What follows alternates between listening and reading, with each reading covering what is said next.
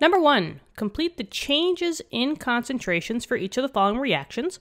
And then we have this reaction over here. So we have magnesium hydroxide, MgOH2 solid, which yields into the two ions. Magnesium 2 plus, which is aqueous, plus two hydroxides, two OH minuses. Now the question is, what is the change in the hydroxide when the magnesium concentration is changed by an X value?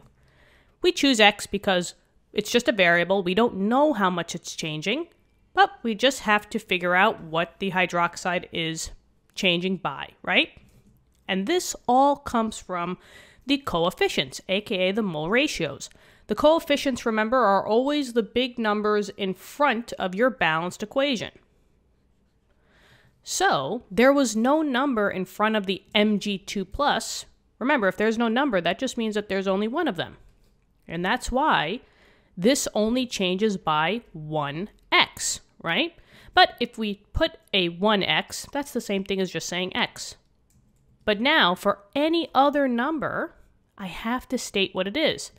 So this would be 2x,